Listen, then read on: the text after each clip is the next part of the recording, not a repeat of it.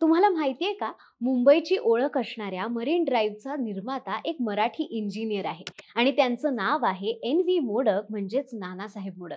नमस्कार मी मैथिली आणि तुम्ही पाहताय बोल भिडू नानासाहेब मोडक यांचा जन्म अठराशे नव्वद सालचा. मुंबई विद्यापीठातून त्यांनी सिव्हिल इंजिनिअरिंगचं शिक्षण पूर्ण केलं आणि तेव्हाच्या बॉम्बे म्युन्सिपाल्टीमध्ये ते अभियंता म्हणून रुजू झाले. टाउन प्लॅनिंग सांडपाण्याची व्यवस्था यात त्यांचा स्पेशल अभ्यास होता.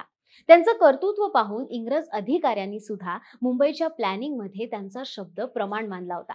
मुंबई महानगरपालिकेचे स्पेशल इंजिनियर या पदावर त्यांची नेमणूक झाली होती. मुंबईची गटारं आणि सांडपाण्याचं योग्य नियोजन लावण्यामध्ये त्यांचा सिंहाचा वाटा आहे. झोपडपट्टी क्षेत्राचा विकास समुद्र हटवून त्यात भराव घालणं अशा अनेक मोठमोठ्या योजनाही त्यांच्याच संकल्पनेतून साकारत होत्या. मुंबई विद्यापीठात सिव्हिल इंजिनिअरिंग डिपार्टमेंटचे डीन म्हणूनही त्यांनी काम पाहिलं होतं आणि एन व्ही मोडक यांच्या संकल्पनेतून मरीन ड्राईव्ह साकारला गेला.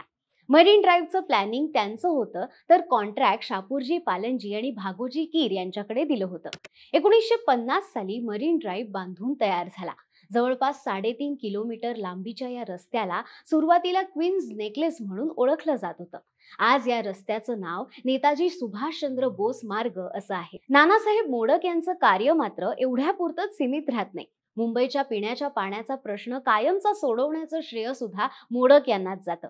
त्यांच्याच कारकिर्दीत महानगरपालिकेने तानसा वैतरणा आणि भातसा ही धरणं उभारली.